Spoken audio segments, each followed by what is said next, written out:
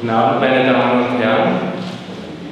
Ich freue mich, dass uns Herr Fischer und Herr Lichting die Gelegenheit gegeben haben, den Luzerner Zeichner und Maler Ernst Schürtenberger zum ersten Mal im Kunstmuseum Luzern auszustellen. Wir danken Ihnen sehr herzlich dafür. Wir, das sind Frau Christine Anlicker und ich, wir waren beide jeweils durch unsere Eltern mit dem Künstler eng verbunden und es war uns seit Schuttenbergers Tod vor fünf Jahren ein Herzenswunsch, den Nachlass aufzuarbeiten und diese Arbeit in eine Buchpublikation einfließen zu lassen. Dieses Buch liegt jetzt vor und begleitet die Ausstellung. Sie ist somit der Höhepunkt und der vorläufige Abschluss unseres Projekts. Unser Dank gilt nicht nur allen Verantwortlichen des Museums für die äußerst fachkundige praktische Umsetzung des Ausstellungskonzepts, hier allen voran Frau Gabriel Schad, sondern auch der Stiftung, Anliger Stiftung für Kunst und Kultur, die die Ausstellung finanziell großzügig unterstützt hat. Bedanken möchten wir uns auch bei den Leihgebern der Ausstellung und bei allen Menschen und Institutionen, die uns bei der Realisierung des Buches so wunderbar geholfen haben. Ohne die Bereitschaft von Sponsoren, das Projekt zu unterstützen und ohne die Einwilligung von Württemberger Sammlungen, Sammlern Abbildungen oder Werke zur Verfügung zu stellen, hätte das Unternehmen nie ausgeführt werden können. Ich hoffe, Sie können sich mit uns über das, wie ich meine, sehr, sehr ansprechende Ergebnis freuen. Auch Ernst Schürtenberger hätte wahnsinnige Freude gehabt, wäre noch zu seinen Lebzeiten seine Kunst im Kunstmuseum Luzern gewürdigt worden. Dieser Wunsch ist ihm nicht erfüllt worden, aus verständlichen Gründen, wie ich einräumen möchte. Ernst Schürtenberger war eine äußerst schwierige Persönlichkeit. Seine Kunst war schwer einordbar, physisch war er schwer fassbar und emotional war er schwer einschätzbar. Wie ein Chamäleon seine Farbe wechseln kann, so konnten Ernst Schurtenbergers Stimmungen schwanken. Heftige Wutausbrüche und spontan geäußerte Fröhlichkeit lagen oft unmittelbar nebeneinander. Die mit breitem Pinsel oder sogar mit dem Spachtel fast grob gemalten und farbintensiven Bilder des ersten Raums dieser Ausstellung hier sind unter anderem Ergebnisse einer außerordentlichen Aggression und Wucht, mit der Schurtenberger an die Leinwand zuging. Bilder dieser Art konnten in unmittelbarer Folge eines Wutanfalls entstanden sein und machen den nicht mehr unter uns weilenden Künstler auch heute noch ungeheuer präsent und spürbar. In Schurtenberger steckte aber auch eine Liebenswürdigkeit und eine fast kindliche Fröhlichkeit. Sie konnten einen sehr stark für ihn einnehmen. Dieser sensible, mitunter verletzliche, jedenfalls fantasievolle Schuttenberger kommt besonders deutlich in den Arbeiten zum Ausdruck, die im letzten Raum der Ausstellung zu sehen sind. Da erzählt er auf Temperablättern Geschichten, die er erlebt hat, die er sich ausgedacht hat, die ihm vielleicht die längste Zeit in ihm spukten und denen vor allem im Alter dann frei zwischen diesen beiden Polen seines Temperaments rollt die Ausstellung Ernst Schüttenbergers rast- und ruheloses Leben in Form seiner Bilder auf. Er lebte und malte die meiste Zeit außerhalb seiner Heimatstadt Luzern. Als junger Künstler hielt er sich hauptsächlich in Paris und in Mailand auf. Ab den 80er Jahren ließ er sich in Österreich nieder.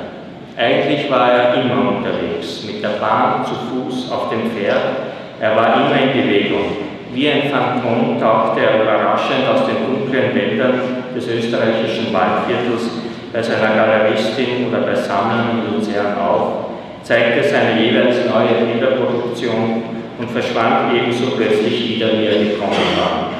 Er hetzte nach Paris, nach Sermon in Lothringen, früher auch nach Mailand, wo seine früh verstorbene Frau Therese Staffelbach arbeitete, oder später zurück nach Wien, wo seine spätere Lebensgefährtin Marianne Stein verlebte.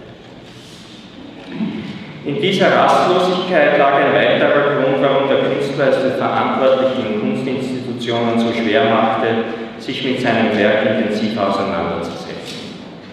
Ernst Schürtenberger mietete oder besaß gleichzeitig mehrere Unterkünfte, zeitweise sogar am selben Ort, immer aber an verschiedenen Orten. Man möchte fast meinen, dass Schürtenberger seine Behausungen akkumulierte, so wie er maßlos alte und gebrauchte Alltagsgegenstände sammelte. Wie sollte man sich also über ein Werk orientieren können, das zwischen Luzern, Paris, Mailand, Wien, Lothringen und dem österreichischen Waldviertel verstreut, in Dachkammern, in einer Abbruchvilla, in einer verfallenen Hufschmiede, in einer Scheune oder in einem Kuhstall landete. Selbst wenn man sich die Mühe gemacht hätte, an einem dieser Orte des Künstlers habhaft zu werden, bedurfte es einigen guten Willens, mit seiner Art zu leben zurechtzukommen.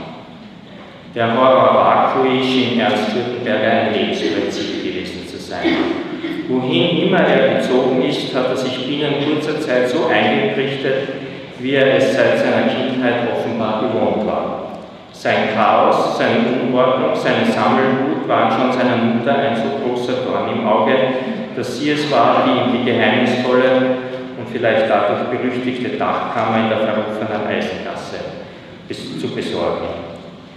Diese Eisengasse, diese Dachkammer, stopft er dann allmählich mit seinen Bildern voll, die nahezu täglich entstanden und die sich auf Bett, Stuhl, Kommode, Tisch, buchstäblich zwischen alten Kaffeemaschinen, zersprungenen Tellern, rostigem Besteck, kaputten Grammophonen und ausgedienten Drehorgeln die Schurtenberger auf dem Schutt im Trockenhaus auf Flohmärkten zusammengesammelt hatte, standen. Alle diese Dinge brauchte er für seine Malerei. Sie waren ihm Anschauungsmaterial. Er liebte die Alltagsgeschichte dieser Gegenstände, es faszinierte ihn ihre Patina. Wehe man putzte, reinigte, staubte diese Dinge ab. Die Patina inspirierte ihn, gewisse Farbtöne im Bild zu erzeugen und sie regten ihn zur Malerei mit gebrochenen Farbtönen, zur Valeurmalerei an. Neben den häuslichen Inspirationsquellen war Schuttenberger aber auch immer mit den internationalen Kunstgeschehen bestens vertraut. Dieses studierte er nicht nur in den Museen moderner Kunst in Paris, sondern auch in den Straßen und Gassen von Saint-Germain-des-Prés mit seinen damals angesagtesten Kunsthandlungen, Blumen und Galerien. Das französische Informell, die lyrische Abstraktion und der abstrakte Expressionismus waren ihm dadurch bestens vertraut. Er könnte Zeitzeuge gewesen sein, als Christoph die Rue Visconti in Paris mit Ölfässern verbarrikadierte und als die Affischisten Plakate von Wänden rissen. Ernst könnte gesehen haben, wie Yves Klein seine Modelle mit seinem berühmten Ultramarinblau bemalte und über Leinwände rollen ließ, oder wie Künstler des Nouveau Realismus in Kellergalerien in inszenierten Mutanfällen Gegenstände zertrümmerte. Schurtenberger kannte sicherlich die großen Leinwände der Amerikaner, die sich unter dem Einfluss der Werbeindustrie mit dem Rot-Gelb-Blau-Akkord beschäftigten. Er saugte Altes auf und verarbeitete es in seiner Malerei. Der Rot-Gelb-Blau-Akkord wird ihm bis in die 80er Jahre begleiten, genauso wie die Abstraktion, der gegenüber er aber ein ambivalentes Verhältnis einnehmen wird. Trotzdem bemühte er sich immer wieder zu, bemühte er sich immer wieder zur Klärung künstlerischer Fragen. Durch die Abstraktion lernte er zum Beispiel den Umgang mit der Farbe Weiß kennen. Mit der Anerkennung von Weiß änderte sich um die Mitte der 80er Jahre seine Bildsprache. Er malte Szenen oder einzelne Figuren. Einen gewissen Anteil seines Werkes nehmen dabei auch Aktbilder ein, deren weibliche Akte dem ehemaligen Milieu der Eisenmasse entstammen können. Sobald Figuren seine Bildwelt dominierten, knüpfte er an seine Anfänge als Zeichner an. Die, die, Farbe tritt ab der Mitte der 80er Jahre immer mehr in den Hintergrund. Die reinen Umrisslinien wurden zum Gestaltungsmittel. Der Maler ist vom Zeichner Ernst Schurtenberger eigentlich gar nicht zu trennen. Um die Schreinerlehre doch noch erfolgreich abschließen zu können, riet man dem Lehrling Ernst Schurtenberger sein hervorragendes Zeichentalent zu perfektionieren und seine handwerklichen Defizite wegzumachen.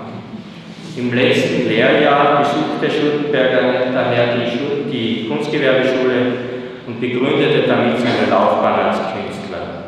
1959 hatte Schultenberger seine erste Ausstellung bei Josef und Erika Ebinger in der Galerie an der Reuss und fiel dort zuerst mit seinen Zeichnungen dem damaligen Konservator des Kunstmuseums Luzern, Herrn Peter Althaus, auf. Zeichnung auf Papier wird ihm dann sein ganzes Leben lang eine Fingerübung sein. Es verging buchstäblich kein Morgen, an dem er nicht mindestens eine Zeichnung machte. Im Spätwerk erweiterte Schurtenberger seinen Zeichnungsbegriff. Ab den 90er Jahren malte er Zeichnen auf der Leinwand. Gleichzeitig entdeckte er sein Innenleben als unerschöpfliche Fundgrube für seine Bildmotive.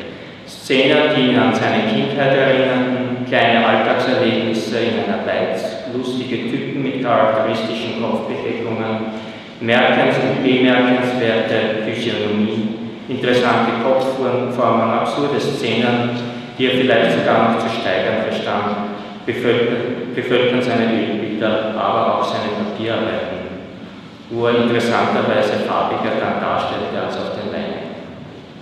Die späten Papierarbeiten, im letzten Raum in dieser Ausstellung ausgestellt, zumeist Temperas, sind erstaunlich autochthon. Es gibt meines Wissens nach keine vergleichbaren Arbeiten anderer Künstler, selbst der Begriff April greift nicht wirklich um diese kindlich fröhlichen, manchmal auch frivolen, abgründigen und mitunter brutalen Motive restlos zu klären. Sie bleiben einstweilen noch Schuttenbergers Geheimnis, wie überhaupt der Künstler und seine Malerei die Kunst des Sich beherrscht. Schurtenberger war kein Abstrakter, aber er malte auch ungegenständlich. Er war ein Maler in der Tradition der Moderne, und verstand sich doch in kritischer Distanz zur modernen Malerei. Er lebte die meiste Zeit im Ausland und fühlte sich doch Luzern aufs engste verbunden. Ernst Schürtenberger entzog sich auch einer unbefangenen Annäherung an ihn selbst.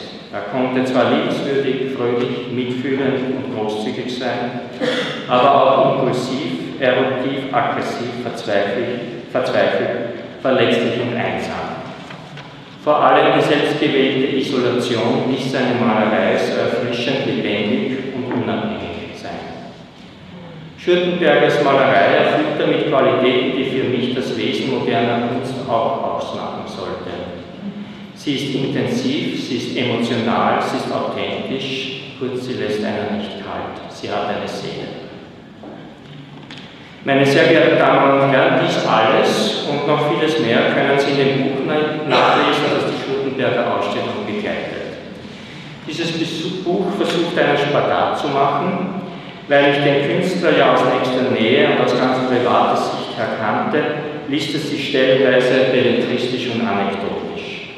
Gleichzeitig haben der Herr Peter Althaus und ich uns in dem Buch auch Gedanken über Schurtenbergers Kunst gemacht. Wenn Sie Ausführungen über Kunst nicht interessiert, dann lesen Sie nur die Absätze zu den vielen absurden und spannenden Geschichten, die Ernst Schüttenberg in seinem Leben aufgeführt hat. Vielleicht interessiert Sie aber auch nur, etwas über seine Kunst zu erfahren, dann überspringen Sie doch die Anekdoten. Wenn Sie gar nicht lesen möchten, dann schauen Sie sich bitte die hervorragend reproduzierten Bilder an, und wenn Sie das auch nicht wollen, dann gibt es noch den bekannten Film Ernst Schurtenberger, Tage im Galopp von Tobias Ineichen und Bernhard Weber, den uns die beiden Filmemacher freundlicherweise als DVD für diese Publikation zur Verfügung gestellt haben. Es kann Ihnen aber auch geholfen werden, wenn Sie überhaupt nichts von dem interessiert, was ich bisher erwähnt habe. Dann sollten Sie es deshalb nicht verabsäumen, dieses Buch in Ihrem Haus zu haben, weil es hinsichtlich seiner außergewöhnlichen Gestaltung und wegen seiner hervorragenden Druckqualität als Kunstobjekt gilt. Bitte kaufen Sie es.